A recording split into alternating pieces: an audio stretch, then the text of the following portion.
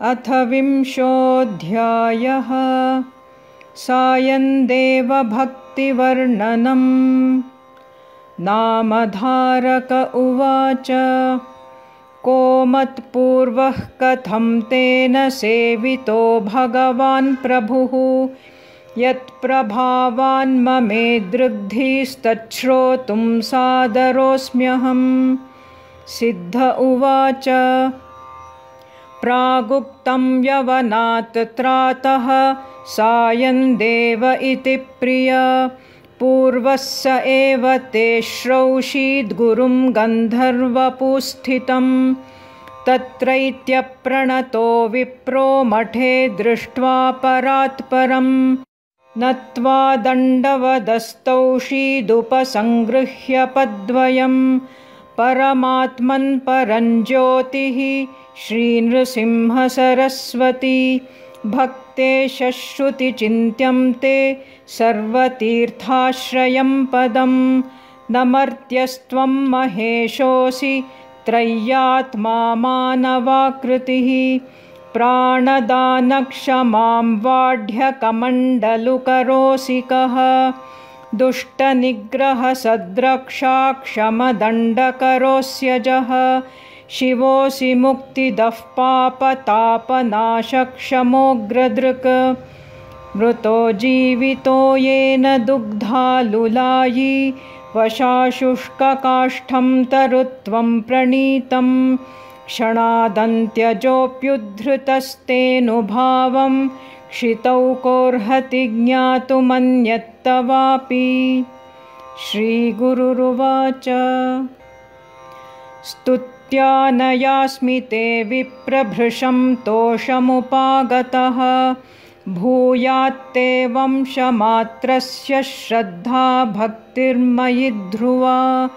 कच्चित्क्षेमं युवत्यादेस्तव ब्रूहि क्व तिष्ठसि कालेन बहुना विप्रसङ्गतोऽस्यद्य मत्प्रिय सायन्देव उवाच देवदेव जगन्नाथ भगवन्त्वत्प्रसादतः सर्वेषां क्षेममस्तीशकाञ्च्यां तिष्ठाम्यहं स्वकैः। योगक्षेमेक्षका भ्रातृपुत्रा मे तेऽनुकम्पय त्वत्पादाब्जरसम्पातुमलिप्रायोऽस्मि सम्प्रति। श्रीगुरुरुवाच कष्टं मे सेवनं नाज्ञकोऽपि ज्ञातुं न शक्यते। ग्रामे नदीतटेरण्ये दुर्गमेऽपि वसाम्यहम् तच्छ्रुत्वा सोऽनुयास्यामि यत्र क्वापीठमाददे तथेत्युक्त्वैकदा शम्भुस्तेनागात्सह सङ्गमम् निवार्यान्यान् समं तेन स्थित्वा श्वत्थतले निशि। वृष्ट्यैतदादिदेशाब्दमकालेऽपि परीक्षितुं गर्जिताब्दो ववर्षारं झञ्झावातसखस्तदा क्षणप्रभापि मुष्णन्ति दृष्टिमासीदनुक्षणम् उपर्युपरि वस्त्रैस्तं समन्तात्सप्रकम्पितं सहिष्णुः श्रीगुरुं भेज आसारार्तिरणद्विजः। यामाभ्यां खण्डितं वर्षं दृष्ट्वोचेतं गुरुः पुरं गत्वाग्निमानयात्यन्तं क्लिन्नाङ्गे शीतमुत्थितम् कुत्रापीतस्ततो पश्यन् याहि मामनुचिन्तयन्।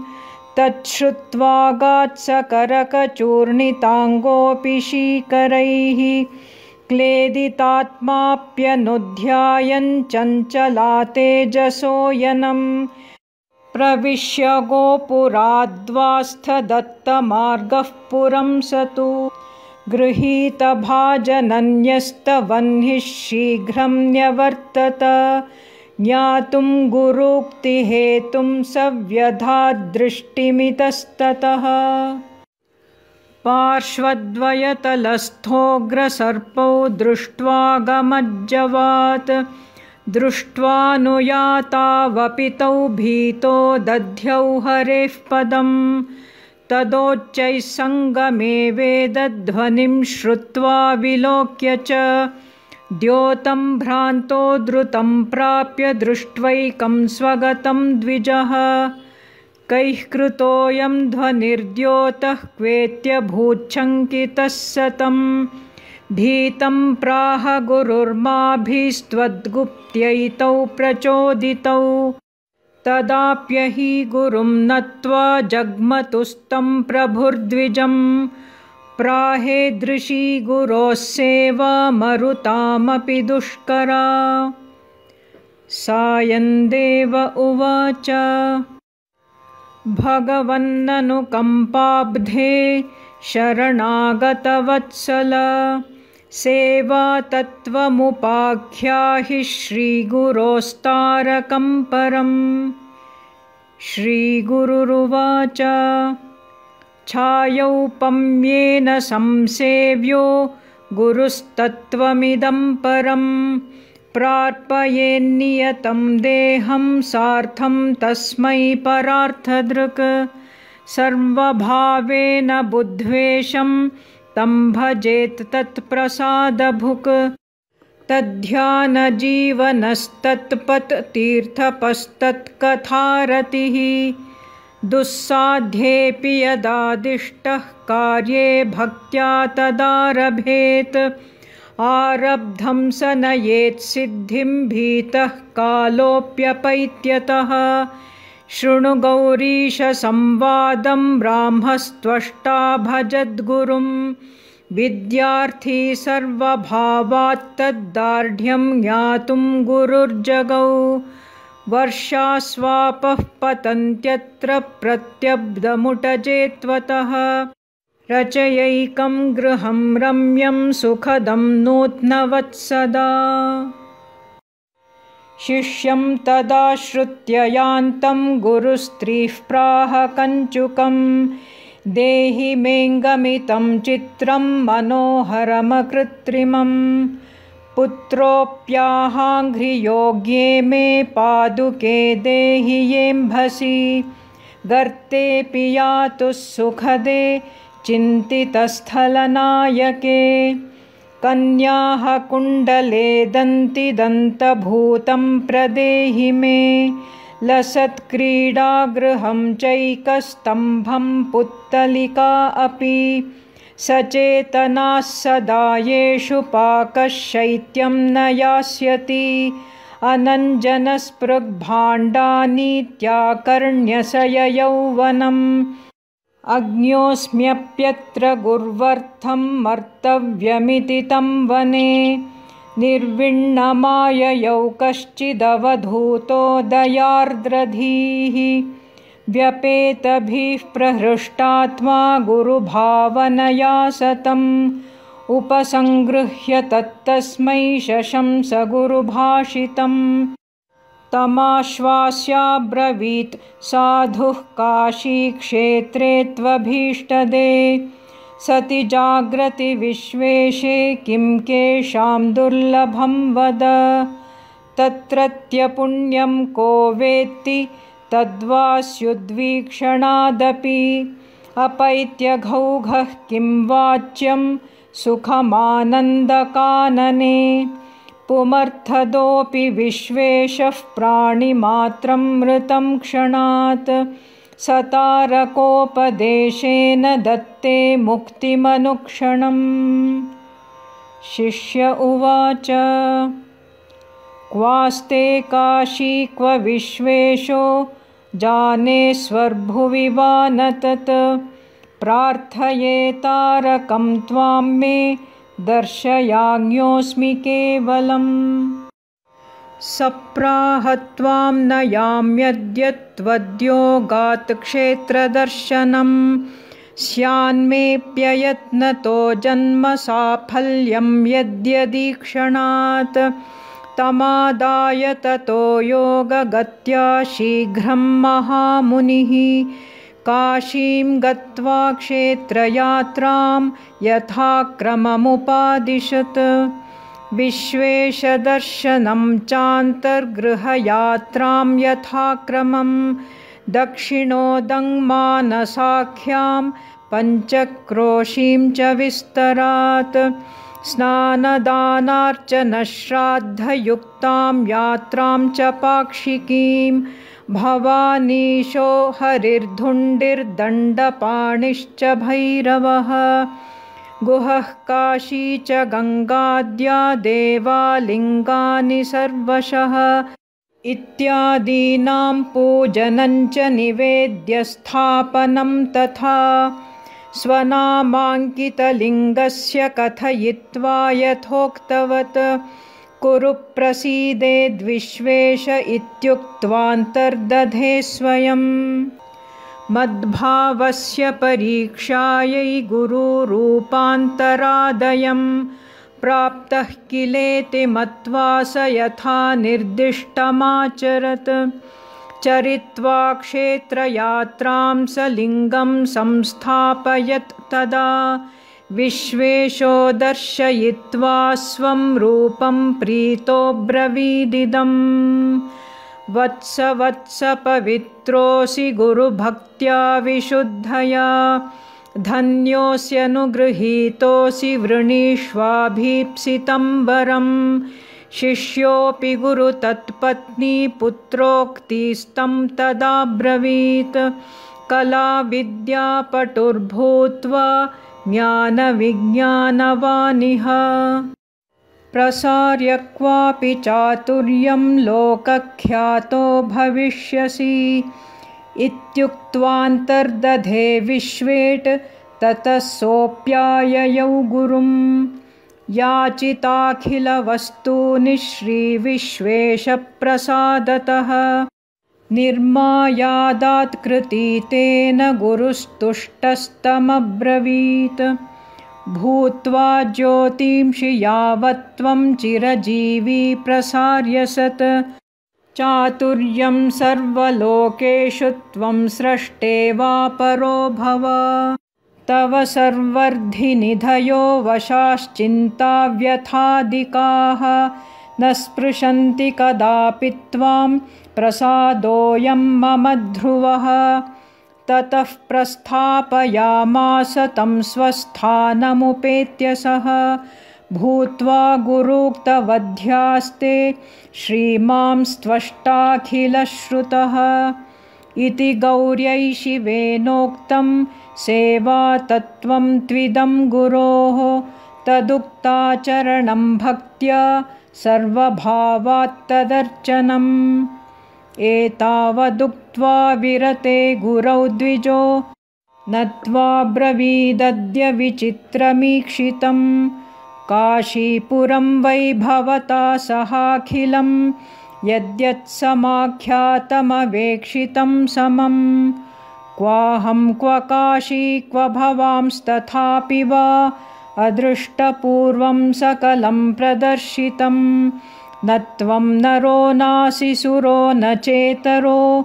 नूनं परात्मैव परावरोऽस्यजः। प्राग्ब्रह्मत्वमजोक्रियोऽपि बहुलं स्यामित्यभूद्धिस्तया। सृष्ट्वैवाण्डभुवं ततो जगदिदं सृष्टं स धर्मं गुणैः स्वैस्वम्भो रमयन् विहंसि सदरीनत्रावतीर्यानिशं वन्दे श्रीनृहरे सरस्वतिवरं ते श्रीपदाब्जद्वयम्। कल्याकृष्टहृदुज्झितक्रतुनरत्रस्ताध्वराशीर्मुदे प्रातः सूर्य इवोदितोऽस्य जमहामोहान्धकारं ग्रसन् सद्धर्माश्रमसेतुमत्र शिथिलप्रायं सुदार्ढ्यं नयन्। वन्दे श्रीनृहरे सरस्वतिवरं ते श्रीपदाब्जद्वयम्। सर्वानन्दनिधानरूपममलं सत्त्वं सुखं मूर्तिमत्। प्रादुष्कृत्य जनत्रयान्तरमृगक्रीडावनं पावनं संसारावटमग्नमुद्धरसि भो स्वीकृत्य तुर्याश्रमं वन्दे श्रीनृहरे सरस्वतिवरं ते श्रीपदाब्जद्वयम्। मूके गां दृशमन्धके सुतनयं वन्ध्यासु चासून्मृते।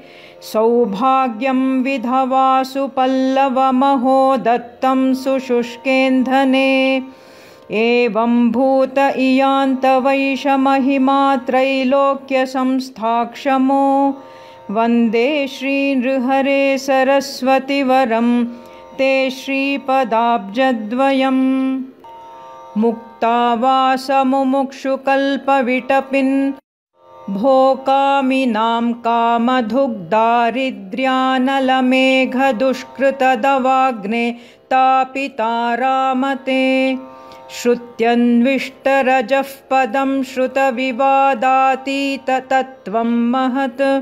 वन्दे श्रीनृहरे सरस्वतिवरं। ते श्रीपदाब्जद्वयम्। भो योगीश्वरभावितं तव पदं तीर्थाश्रयं सज्जना। जीवं कामिसुदैवतं च कमलालीलास्थलं निर्मलं विद्वद्वादकरण्डकं सुकृतसंस्थानं महत्पावनं। वन्दे श्रीनृहरे सरस्वतिवरं ते श्रीपदाब्जद्वयम्। वेदागोचरते चरित्रममलं शक्तोऽत्र कः कृत्स्नशो। वक्तुं वह्निनेन्दुभूखपवनात्मेतीह मूर्त्यष्टकम् एतद्विश्वमयं न चान्यदिह वा ओङ्काररूपेशितर्वन्दे श्रीनृहरे सरस्वतिवरं ते श्रीपदाब्जद्वयम् कुण्डीदण्डकरं प्रशान्तममलं सन्न्यासिरूपं तव श्रीभीमामरजायुतिस्थितमजध्येयं शरण्यं मयि ज्ञातं तारकमीश सत्यमनिशं ब्रह्मन् स्थिरीकुर्वदो। वन्दे श्रीनृहरे सरस्वतिवरं ते श्रीपदाब्जद्वयम्। एवं स्तुवन्तं प्रभुराहतेऽर्पिता तुष्टेन भक्तिर्मयि खल्वहैतुकी भो पुत्रपौत्रादिसमस्तवंशजा भक्ता भविष्यन्ति ममैव निश्चितम्। इतः परं लेच्छनिषेवणं जहि स्त्रिया सुतैश्चात्र सदैव तिष्ठ भोः द्विजोऽपि गत्वा गृहमानयत् स्त्रियं सुतांश्चतुष्टावजगद्गुरुं पुनः त्वं वाच्यवाचकत एष जगन्मयो वा। ओङ्कारवाच्य भगवन् त्रिगुणात्मकोऽसि आद्यन्तवर्जितपुराकृतभागधेयादृष्टं त्विदं तव परात्परसत्त्वरूपम्। पापोऽपि पूतोऽस्मि तवाङ्घ्रिसंश्रयात् स्पर्शाश्रयाल्लोहमपीव काञ्चनं तप्तोऽपि शान्तोऽस्मि मुखेन्दुदर्शनाद्दीनोऽपि धन्योऽस्मि तव प्रसादतः। स्तुत्वैवं श्रीगुरुं हृष्टः कारनाटकभाषया। आवतारकथोद्घातं जगौ तस्य यथाक्रमं भगवान् तेन तुष्टः सन्दत्वेष्टं वरमाहतम् अयं ज्येष्ठसुतो मान्यो धन्यस्ते मेति वल्लभः। इत्युक्त्वा नागनाथस्य मूर्ध्न्यधाच्छङ्करं करं तदैव गीष्पतिसमो वक्ता ज्ञाता बभूव सः। सद्गुरुः प्राह विप्रन्ते भार्येयं सुभगा सती चतुरश्चतुरान् पुत्रान् लभेत् त्वमपि भाग्यभाक्। इतः परं लेच्छलब्धवृत्तिं हित्वा कुटुम्बयुक्। तिष्ठात्रैव तव श्रेयो भवेन्मे सुप्रसादतः। स्नात्वा स्वकैः सह तिथौ भाद्रशुद्धचतुर्दशे। अनन्तव्रतमस्त्यद्य तारकं तत्त्वमाचर धर्मः कृष्णोपदेशेन चरित्वा यद्व्रतं महत्। दिव्यं सौख्यं सार्वभौमं भुक्त्वा गात् सतनुर्दिवम्। सायन्देव उवाच भवान् देवोऽस्ति नोऽनन्तो भवत्सेवाव्रतं परं तथापि श्रोतुमिच्छामि को धर्मः कीदृशं व्रतम् श्रीगुरुरुवाच। धर्मो भूत्पाण्डवो राजास्तत्सदस्यां सुयोधनः। मायाभ्रान्त्या पतन्मानि व्रीडितो जनहास्यतः। जित्वा द्यूतमिषाद्धर्मं हृततच्छ्रीससानुजं वनाय प्रेरयत्सोऽपि तत्र गत्वा सुदुःखितः स एकदा गतं कृष्णं नत्वा शस्त्र्यनुजोऽब्रवीत् त्वन्नस्त्रातेति बिरुदं वहन्नोकं न वेत्सि किम्। श्रीकृष्ण उवाच बलवद्दैवमपि मां भजतां नेक्षते सदा। त्वं मद्भक्तोऽपि मद्वाक्यात् कुर्वनन्तव्रतं महत् कोऽनन्तस्तद्व्रतं कीदृक् पुरा केन कृतं वद? इति धर्मानुयोगं सश्रुत्वा वक्तुं प्रचक्रमे। चराचरजगत्कालभूताद्यात्माप्यहं विभुः। कर्मप्रयोजनगुणैर्भूपानन्तोऽस्म्यहं पृथक् भाद्रशुक्लचतुर्दश्यामनन्तव्रतमुत्तमं व्रतिनोऽनन्तफलदं तत्कुर्विष्टमवाप्स्यसि। ऋषिः सुमन्तुः प्रागासीद्वासिष्ठो गौतमीपतिः। तत्स्त्रीः कन्यां प्रसूयैकां मृतान्योद्वाहिता मुना सा दुःशीला कलिद्वेषप्रिया चण्डीपतिं सुतां क्रूरातौ त्रासयामास कन्यापि ववृधे शुभा चित्रक्रियापटुं सोदात् सच्छीलगुणलक्षणां कौण्डिन्याय स्वगृह्योक्तब्राह्मोद्वाहविधानतः तत्र श्वशुरवात्सल्यात् स्थित्वा मासद्वयं मुनिः। श्वश्रूत्रस्तो ययौ वध्वा कौण्डिन्यश्वशुराज्ञया चण्ड्याररं दृढं बद्ध्वा पाथेयं नार्पितं स तु प्रादाद्बहिस्थगोधूमपुलाकं तौ ततो गतौ मध्याह्नेतस्थतुर्नद्यां चिरण्टीः प्रेक्ष्य तत्र सा गत्वार्चयन्तीः प्राहेदं युष्माभिः क्रियते किमु? स्त्रिय ऊचुः भाद्रशुद्धचतुर्दश्यामद्यानन्तव्रतं शृणु स्नात्वा रक्ताम्बरं धृत्वा रक्तसूत्रे चतुर्दश। ग्रन्थीन् बद्ध्वा सप्तफणदर्भशेषे निधायतं कुम्भोपरि चतुर्बाहुं ध्यात्वानन्तं प्रपूज्य च।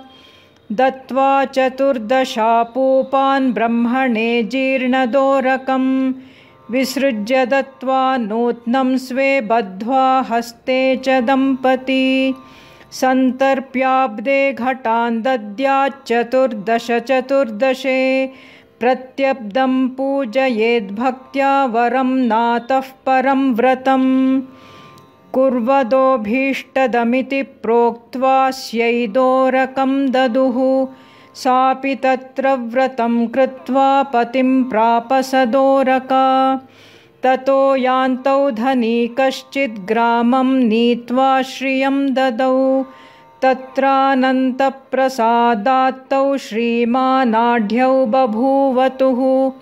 दोरं दृष्ट्वैकदाग्नौ स जहौ मत्वा वशीकृतिं श्रीदानन्तं न त्यजेति वारितोऽपि तया ऋषिः तदा हृताज्ञरिभ्यः श्रीस्ततोऽनन्तं स्मरन्नटन्।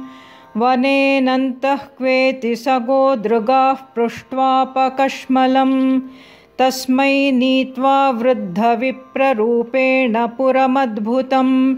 स्वं रूपं दर्शयामास तुष्टावानन्तमप्यसौ।